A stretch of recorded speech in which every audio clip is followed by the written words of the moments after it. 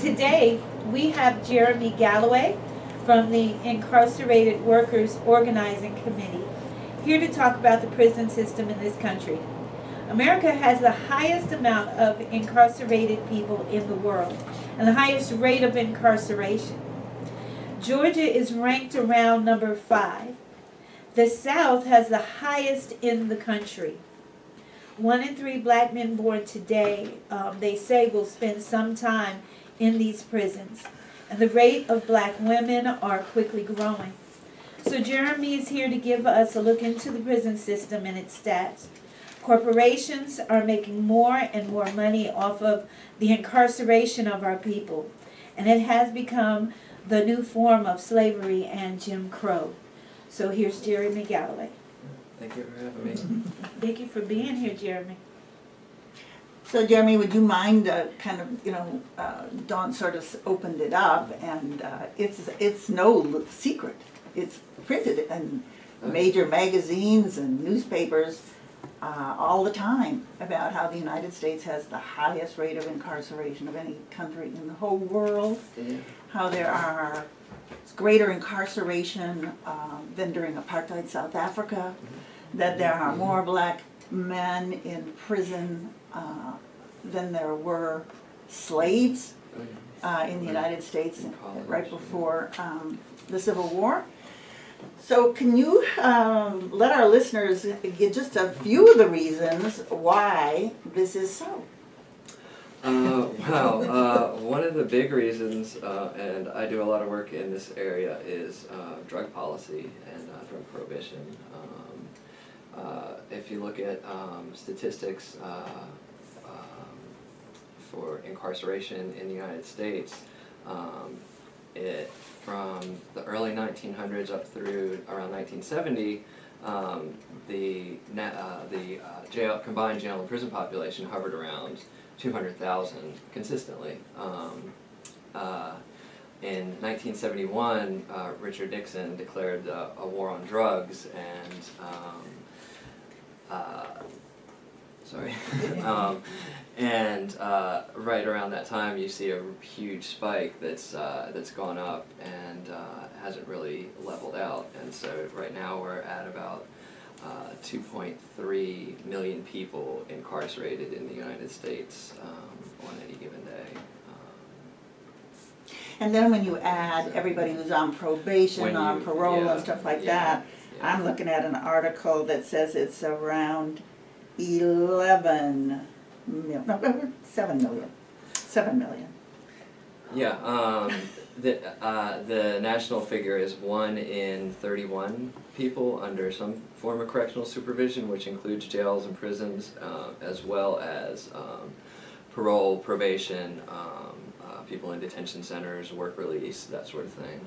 Um, in Georgia, uh, we have the dubious distinction of being, uh, number one in that category, uh, with one in thirteen people under, uh, correctional supervision. That's a question I have Yeah. about this, is the, what are, what are the differences in the South in terms of incarceration? Can you tell, uh, uh, is there a quantitative or qualitative difference?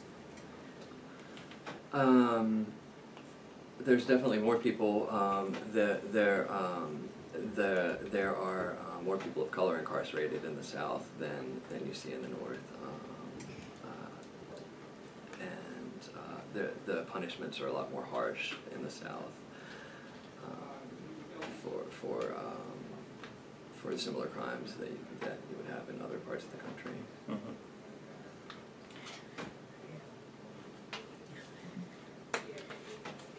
Well, I want to ask you, you know, because one of the things we're talking about is, uh, is what's coming up in the fall uh, with the anniversary of Attica, uh, with, with uh, this prisoner strike. Yes.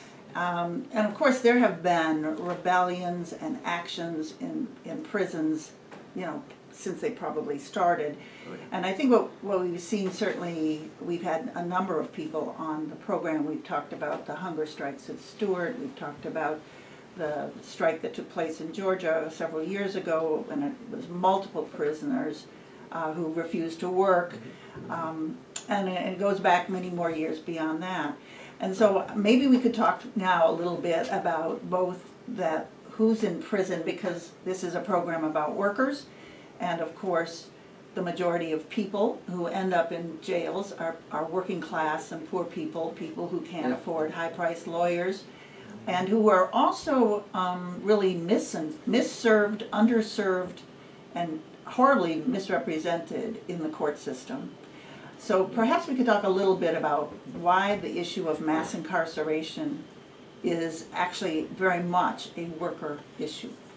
Because it's where you can always get a job, apparently.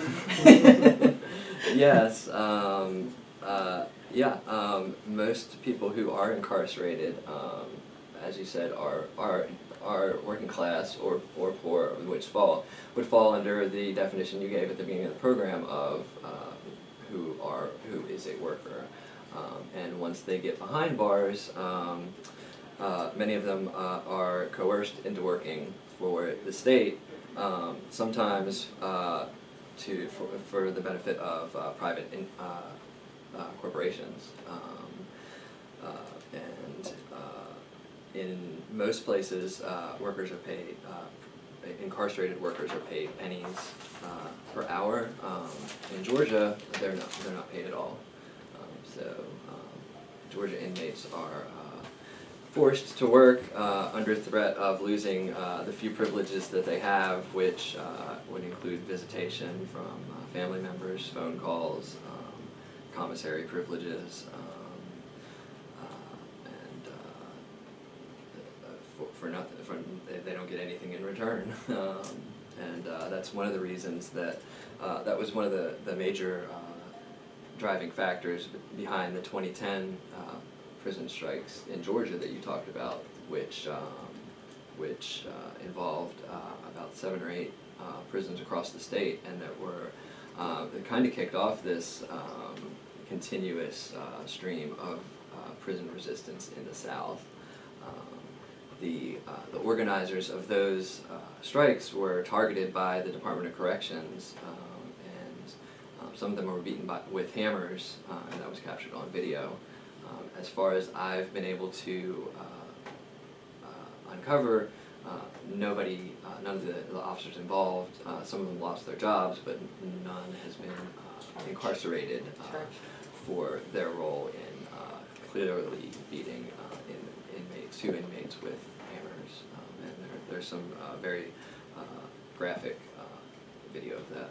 The other, uh, uh, other response also was to throw people into isolation. Oh, yeah, they, uh, solitary. That's that's, that's- a common uh, tactic is uh, uh, beating beating up uh, people um, who who do resist and uh, locking them uh, locking them in isolation until they heal up, uh, and so their families can't see them, lawyers can't see them. Um, no no one gets you know no one can see the results of what's happened and. Um, any sign of resistance uh, in in uh, prisons is met with that sort of retaliation, and uh, a lot of times you'll see um, inmates uh, transferred between facilities um, if if the Department of Corrections considers them to be um, problem uh, uh, you know problematic, um, and uh, the that's that was a really a, a very highly effective. Uh, tactic uh, until recently with the advent of um, mobile phones and um, the fact that they're widely available inside uh, prisons now. Um, and that's how the 2010 strikes were coordinated. Um, they weren't, uh, I mean, they were coordinated by inmates on the inside um, with each other. So um, that was that was kind of a turning point in in how uh, resistance in prisons uh, happens, and it's given uh, incarcerated people um, a lot more control over um, how they um, how they resist um, and how they can coordinate uh, work stoppages, hunger strikes, um, and uh, how they communicate with people on the outside. Which had formerly been completely uh, any any communication out with the outside world had been uh, under complete control of the the uh, the prison uh, administration, until that point. And so now we have, uh, we, we have a little bit of a different dynamic. Um, and the, that resistance has spread to um, other states. Probably the most, one of the most significant would be Alabama, uh, where there's an organization called the Free Alabama Movement, um, which is uh, made up of incarcerated people in Alabama, men and women, uh, and it's uh, also their families and uh, and supported on the outside. Um, and they uh, they've they've established a model um, that's laid out in a, in a manifesto called um, "Let the Crops Rot in the Fields," um, uh, which is available online, um, and it talks about um, how um, basically how the entire prison uh, system in the United States is dependent on inmate labor. Inmates do everything uh, in in the prisons except unlock unlock the cages, pretty much. Uh, they prepare the food, they uh, clean the facilities, they they do laundry, they um, I mean they, they do they run the commissary, they do everything, um, and They they, they, als- even build the prison. they even They build the prison in also, Georgia. uh, a lot of people may not know that major corporations contract. oh yeah. So that, for example, Motorola, Compaq, Honeywell, Microsoft, Revlon, Chevron, TWA, Victoria's Secret, and Eddie Bauer, just for examples, their products or their services is actually done by. Prison labor.